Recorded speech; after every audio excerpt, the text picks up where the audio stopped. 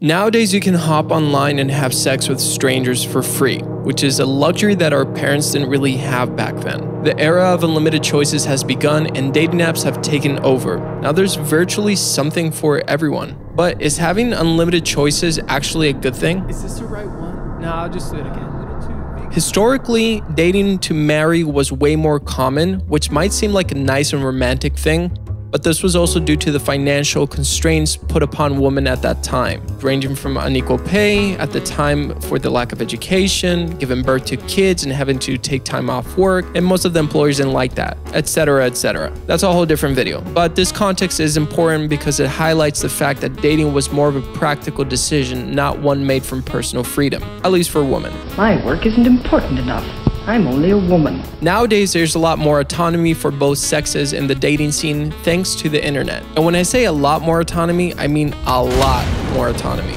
Not just autonomy, but just a lot more to choose from thanks to technology. For most people dating online, you'll go with the most popular apps. It's like Tinder, Hinge, Bumble. But Fil, I'm different. I sparkle. yes, there's also something for you. For example, are you LGBTQ+,? Jewish, Christian, black, disabled? You have digestive problems? Are you a literal furry? There's quite literally something for everyone. Whether you're looking for love or just a casual fling, there is no excuse nowadays not to exchange bodily fluids with others. And if you get rejected, who cares? You know why? You have infinite options. So just swipe to the next one, and the next one, and the next one and the next one. Let me give you an analogy that most people in the first world probably have experienced. You open Netflix and spend about 20 minutes trying to pick something. You get overwhelmed or just start watching something for 10 minutes because being on your phone gives you a faster dopamine hit instead of waiting 90 minutes for a whole movie. Now, even Netflix know this, so they've even optimized their algorithm to show you the best shit faster. Because your data shows that if you spend more than 90 seconds trying to pick something, you'll probably just do something else instead. But how can that actually be? Netflix alone has about 4,000 movies and 1,700 TV shows, which add up to more than 36,000 hours of content, at least in the US. And there are only 8,760 hours in a year, so even if you did nothing but watch movies 24 7, you couldn't go through a third of Netflix content. So, how the f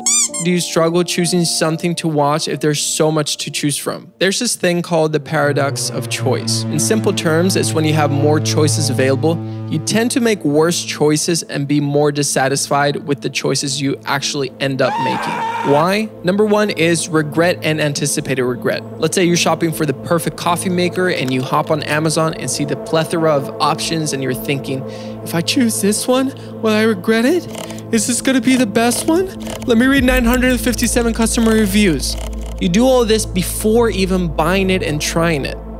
Number two, opportunity cost. If I choose this coffee maker, will it hinder the possibility of choosing another potentially better coffee maker? Number three, high expectations. This coffee maker better make the best, highest quality coffee anyone has ever tasted. Never break down, and I also want it to sing to me in the morning. Are you the right one? Number four, self blame. If the coffee maker I chose doesn't fulfill all these expectations, I'm gonna blame myself for being a stupid moron who can't even choose a good coffee maker. And that's why Stacy divorced me. Oh my god, I miss her. Stacy! Anyways, this should worry you a little bit because the point I'm trying to highlight is that you'll never really be satisfied with more choices. As a matter of fact, it'll do quite the opposite. Having too many choices is actually making you miserable. Let's circle back to dating. Now, of course, you could argue that dating is way more abstract than shopping for a coffee maker online. But you have to remember that human beings are creatures of habit. And let me explain why that's important. Habits are just regular behaviors that you've developed by repetition of a certain action. To better illustrate this, let's talk about Pavlov's dogs. So there was this Russian scientist that ran this experiment in the 19th century where he got a bunch of dogs and every time he fed them, he would ring a bell. He did this enough times to the point where he would ring the bell and the dogs would salivate since they were expecting food, even if he didn't actually give them any.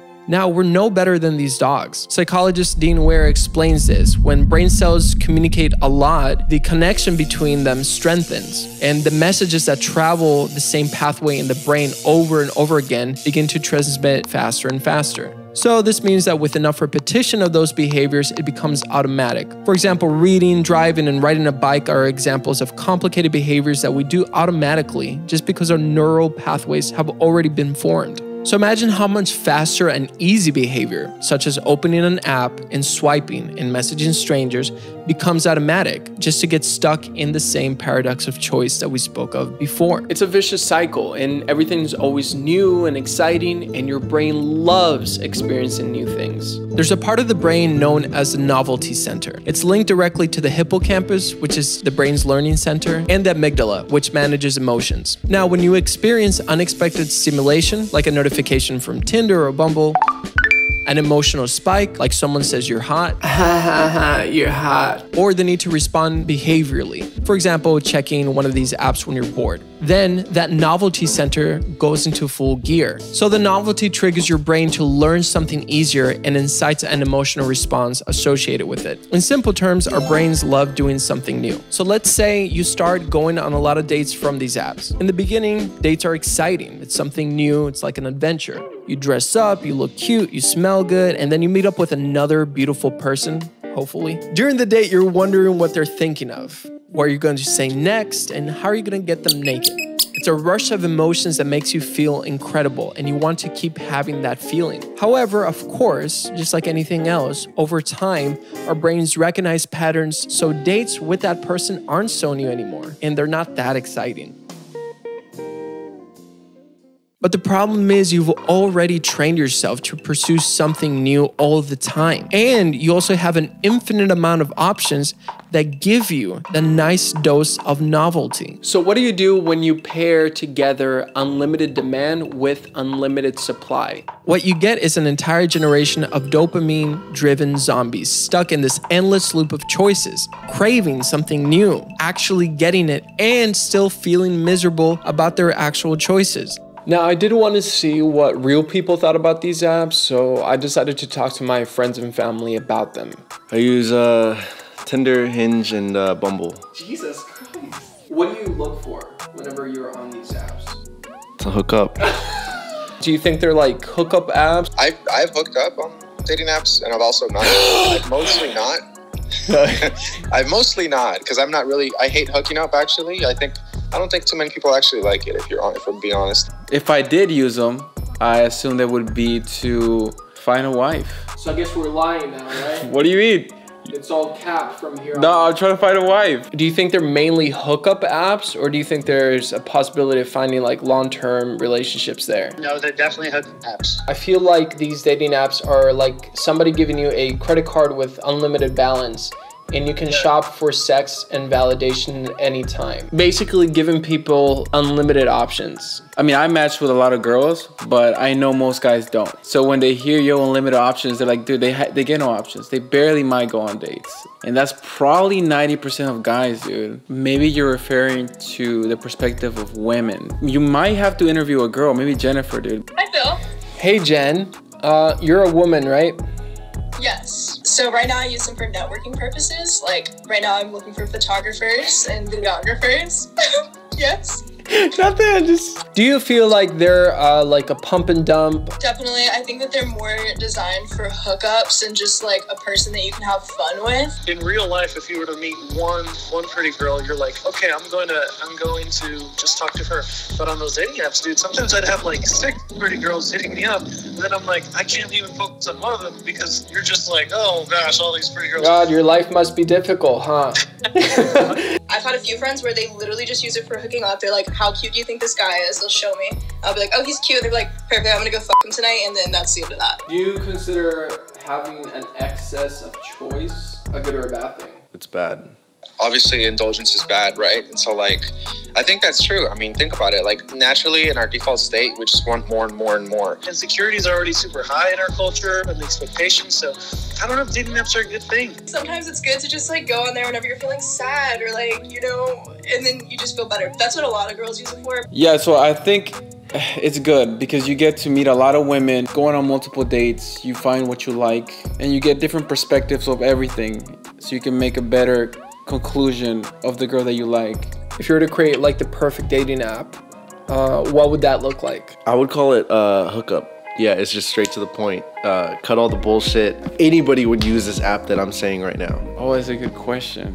Dude, if someone's watching this, don't fucking steal this, dude. I'm gonna find you. Uh, basically, a girl's are always gonna get 20 matches, and every day or every time they log on, they have to get rid of some. Definitely only have like a max of like 20, 30 messages at a time. And if you like want to add somebody else in there, like you have to remove a different conversation because, like I said, it gets really overwhelming. Everyone is complicated. And that's something I think anyone can agree with. Every human being is complicated and multi- multi-dimensional. So the more simple we can make it, the better. Now, being that my friends and family are a pretty small sample size group to really draw out any conclusions from, I also decided to hit up uh, an expert on this. Her name is Sharo Rosales. She's an expert in communicology and gender studies with over 24 years of experience, so I was pretty confident that she could add something valuable to the topic. si con el atractivo físico basta. Lo que pasa es que lance en lance con la misma persona terminan enredándose afectivamente y tal vez es alguien que no conviene. La gente se presenta a sí misma como quien no es, presenta las mejores fotos, las más arregladas. La gente lo que está viviendo es como en un mundo paralelo, que no es real,